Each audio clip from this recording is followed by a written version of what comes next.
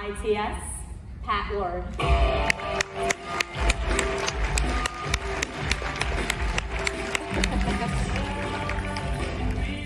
Morning, you look ready to roll. I'm ready. All right, take it away.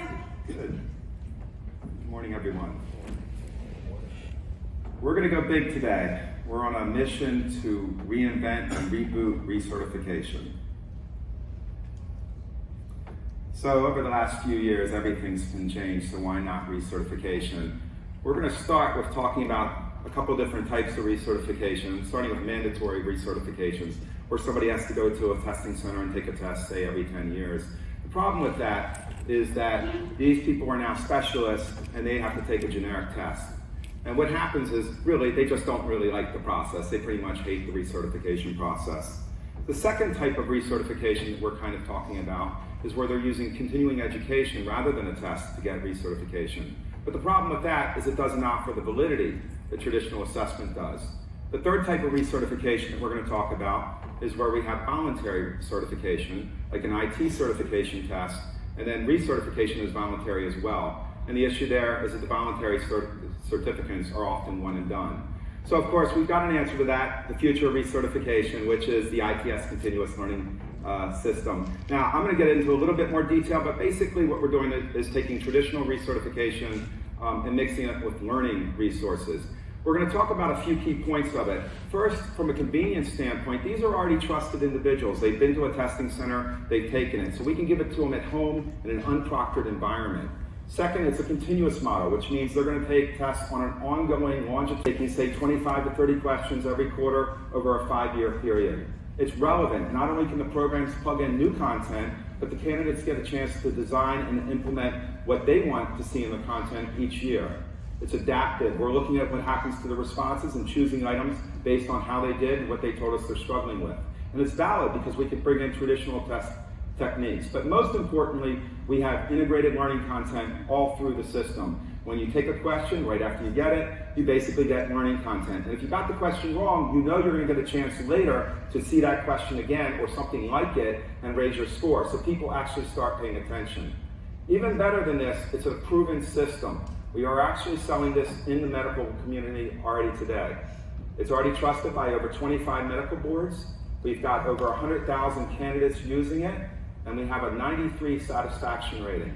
But even more exciting than this is that we do some surveys and 86% of the doctors who've used the system have said that the system makes them a better doctor. These are the same doctors that you're going to every single day. How cool is it when you have a program that, where they like the assessment system? That never happens. So what's next for us? Well, we want to actually introduce this product into new verticals and new countries. We are actually only limited to the United States and the medical community right now.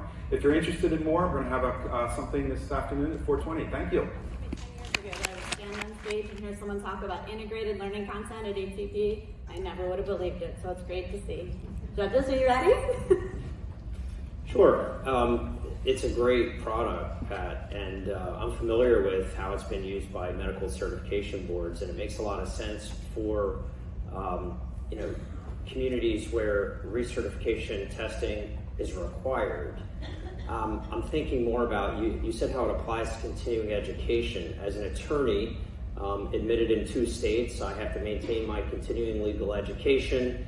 Um, I, I, also have to do continuing education for my privacy certification, for my APP, and I'm thinking about, gee, um, right now all I have to do is sit in front of a computer and sort of not pay attention for a day, um, and that's continuing education. I'm not sure I want to learn, and I'm thinking, frankly, how do you get this to apply to a continuing education marketplace? How do you get people to take tests who are used to just having to do sort of passive requirements. So our customers, the programs, right? Um, you know, not directly the, the doctors or the lawyers who are taking it. So it's up to the programs. Do they want to do some measurement? Do they care that they did it? Is just a participation award because you clicked into a video good enough? If it is, that's great, right? We're not trying to reinvent that. The question is, what if you want to do something more? You know, what if you want to actually have some validity in the process? If that matters, then we're the right product. Got it. Thank you. Thanks, Pat. That was uh, terrific. Um, From a uh, integration model, can you tell me a little bit about the technology behind the uh, integration into the platform? So if we wanted to integrate it into our uh, certification programs for uh, ongoing um, uh, certification or recertification, how would that work from a technology perspective, and what's the business model behind that? So a couple questions there. she snuck the big one in at the end. Um, so we sell um, both direct to medical boards and through partnerships. So you know that's how we, we get it. That's mostly our business in general. Um, what we're talking about is a portal that's in the cloud, right? A, a web portal where people can log into. Almost all the people that are coming in, all the doctors are actually using like a single sign-on to get into our system already. Map, you know, going through whatever particular you know, location it is. So it, it, just depends on the integration, what makes sense for the particular program. If they already have a master registry, which almost every one of them does, um, then we can basically directly link it so it's just coming into the system. Everything's branded to them, customizes, things like that. So it's customized. And, and you know, every board has like their own way of doing things. I mean, every single board does it differently. So it just depends on what we're seeing. And the second question? uh, so the business model, like I said, is through the partnerships and direct. So we're still doing some direct, but for instance, internationally, we are definitely going to be doing partnerships because we don't have sort of representatives internationally. We're also not aware and understanding of the market, so we're kind of, you know, we don't know what we're doing from that perspective. So we need we need from a business model. Um, it already works, but if you think about the size and scope of what we're talking about, I mean, the recertification market's a big market, and we're talking about, you know, a large percentage of it, 90% could switch to this particular thing. Think about that 86% of the doctors that, that actually like the product. And, I, you know, I want to, I just want to make a, a, quick short story. I, I went to a dermatologist for the first time last December, and you know, you do that kind of awkward conversation where they ask you what you do, and you know, I'm, you know, I, am trying to explain you know, to a doctor, you want to talk about tests and assessments, which mean totally different things to doctors. So, but he was a dermatologist, and I knew the dermatologists were on the system. So I said, you know, um, we actually uh, support, you know, your, your board, and we, we, we, we host a product called CertLink. And he jumped out of his chair and he goes, I love CertLink. You know, you just don't get that kind of response, and it makes you feel good because you know we're in this business to do something right and, and help people. Well, I mean, I, I, it's part of my life anyway, and you know, you don't get that kind of direct validation. So, so there's a lot of ways to go out the business, but mainly we're looking for partnerships and awareness and evangelism. So just being here and talking today is kind of a win for us. Um, so we're kind of excited about it. So Pat, um, question about when each individual are taking the test, do you customize anything to that individual? It's just if you have worked with the board and let's say it's dermatologist, it's all same, look the same. Can you get a little bit next level yeah, it's actually pretty. It's pretty cool. Um, so at the beginning of each year, what we do is we run uh, all the, uh, the, the candidates' information, what their their choice. Well, we have a program. You know, think of a content, content outline from the program, and they say like the candidate can adjust it, say 10 to 20 percent here and 30 to 40 percent here, and something like that. And then we run it through a, a, mixed integer math kind of system where we're taking lots of constraints and putting them all together to figure out what is the, the best solution based on what is in the pool, what are the enemies of the item in the pool, things like that. So it, it's kind of complicated. Every single candidate gets something custom, and it's actually customized on every single instance of the test that they take. And we're looking at you know what they've done before, what they're interested in. After every question, they get a sort of a does this question is it useful to your practice? Is this question something you struggled with, even if they got it right? Um, and then we're going to consider all that, and we're selecting questions to make sure it's relevant to them. Thanks, Beth. Sure.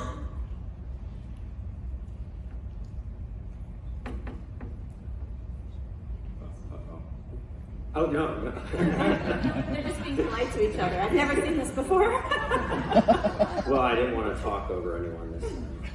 Um, so you've been using the platform for quite a while at this point. It's been a number of years, right? No, that's what's interesting. It's relatively new um, for us. We took over the, the you know the people who are sort of the champions of this came out of that medical board community. Right. Um, they invented it um, originally. We've taken it to a you know sort of a different level with customization and making it standardized so we can take it past that particular market. Um, so Um, so I guess we've been delivering it for three years now for us, um, but all in that medical community. And I'm curious if any of the boards have looked at, have, have compared, again, the test results from their more formal, um, sort of conventional cert- recertification exams that they used to deliver, um, as compared to the results of these exams to try and see, you know, again, look at validity and see whether there's any greater value about. And, and there has been actually, and so ITS is a, a, technology company, so we provide a platform. So that does happen at the, the, the partnership level. We work um, with um, ABMS is, is one of the clients here, MBO and me. And those guys have done extensive studies at, and also at the board level to sort of see how things are doing. The pass rates are actually comparable. Um, but what's not comparable is the happiness. And what you're talking about is a happiness level at the candidate level that really has never been seen before. And a happiness which, which just makes the boards happy, right? It makes everyone happy from that side. But lots of statistical analysis has been done. Thank you. So it's a follow-up to that. Oh, sorry. so do you have stats for in terms of the success factor and how your board manages that and what's their uh, criteria? Yeah, so we, we do we do a whole bunch of stats where we provide sort of just information about how the people are using it, the scores and stuff like that. But then the surveys are then driving it. So actually messaging is a big part of this because we're actually sending messages out not only for like you know letting people know what's going to happen, but also I was just talking to her. The uh, also uh, surveys. Thank you so much. You can take that with you. All right, thank you everybody.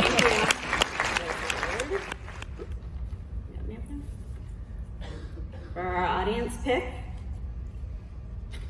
our winner today is Mr. Pat Ward from ITS.